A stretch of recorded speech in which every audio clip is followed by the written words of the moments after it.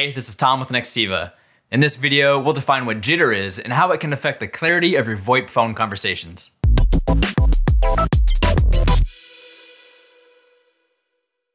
Network jitter happens when a connection has inconsistent delays between the packets of data that carry the information of your call from one line to the other. Jitter is the measurement of the stability of that connection. Jitter affects online activities that depend on two-way, real-time communication. Examples of this are online gaming, conference calls, video meetings, and of course, VoIP calls. When voice data arrives at different intervals, it can result in some data being completely dropped from your call. That can be full words or even sentences of your call gone missing, depending on how much jitter you're experiencing. Jitter problems can affect any network connection, but it occurs most often on Wi-Fi, and this is why we primarily recommend hardwiring your VoIP phones. If you're experiencing high amounts of network jitter, be sure to check out our video on VoIP troubleshooting to see if that will help solve some of your issues. For more information on VoIP jitter and other VoIP related terms, be sure to check out our blog post, linked in the description below. And if you want weekly information about connected communications, remember to subscribe to the YouTube channel and turn on notifications to stay in the loop. Again, this is Tom with Nextiva, we'll see you next time.